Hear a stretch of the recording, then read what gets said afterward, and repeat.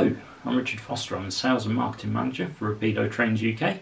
Just to give you a little bit of an update of our two uh, new Birmingham buses, uh, the uh, Birmingham City Transport New Look Guys and the West Midlands Fleetlines. They're both, uh, fingers crossed, in a shipping container at the moment, uh, sailing their way towards the UK. So hopefully they should be with you very shortly. Now, if you bought one of our first batch of Birmingham guys, you'll know that a Rapido Trains bus is unlike any other 176 scale bus on the market. We laser scanned the real thing for absolute accuracy.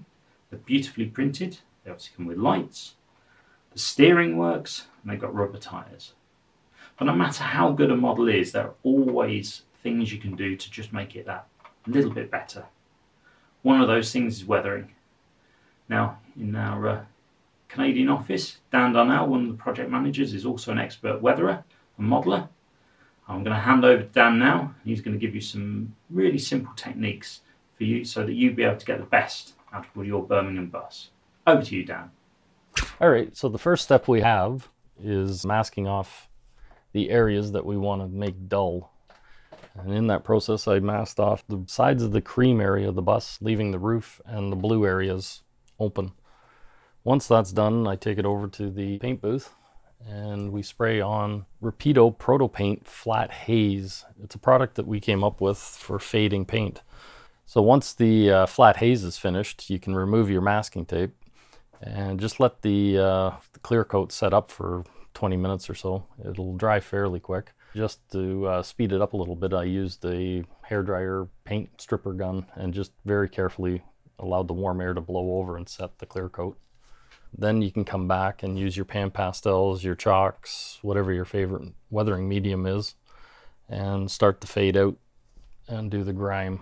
So here you can see I'm starting to put the dirt on the wheel wells and on the wheels and work your way along. I do this with the dry powdered first, and then if I want to make it more of like a rain streak or wash down effect, I take artist solvent paint thinner basically and do a wash over top of the pan pastels and that'll let it pull to the bottom of the bus, creating the pooling effect along the bottom and bringing out all the rivet detail. I also did that along in the rubber walk area at the back to give it some texture and bring out the detail better. We also did some exhaust soot and a bit of rust along the bars along the bottom of the bus. And in the grill, I did some dark black just to give it some depth and texture to that. For the roof, uh, I went with another product, Tamiya Panel Line Accent Color. It comes in black, brown, gray, depending on the color that you want to highlight. So up along the top, you can see I put it on fairly heavy, and then just with a paper towel, I wiped it back off and just kept working it along until it showed up into all the cracks and details and rivets and whatnot. Once that had set up and dried, I came back with black pan pastels and just did the edges all the way along the bus where the dirt would build up heavier. And that's basically the whole weathering process for this. Um, it will get one final clear coat done.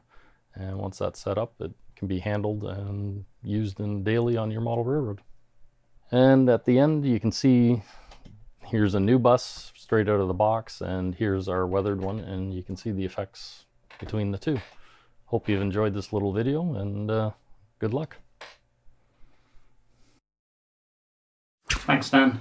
Hope you found that enjoyable and inspirational. Now, I've got 11 new, new look guys featuring previously unreleased registration and destination combinations coming soon and 20 different West Midland fleetlines. They all have lights, they all have full printed interiors and they all retail, full retail, 54.95. You can order yours from direct from rapidotrains.co.uk or from your local Rapido Trains stockists.